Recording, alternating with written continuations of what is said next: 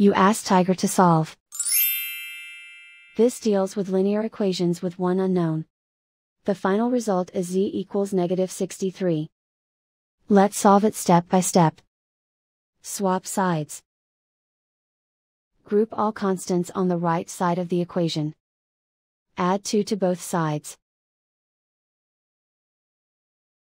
Simplify the arithmetic.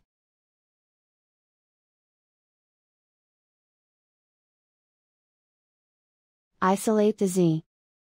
Multiply both sides by inverse fraction 9 over negative 1.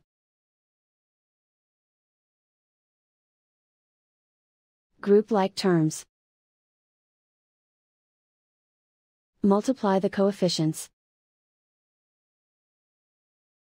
Simplify the arithmetic.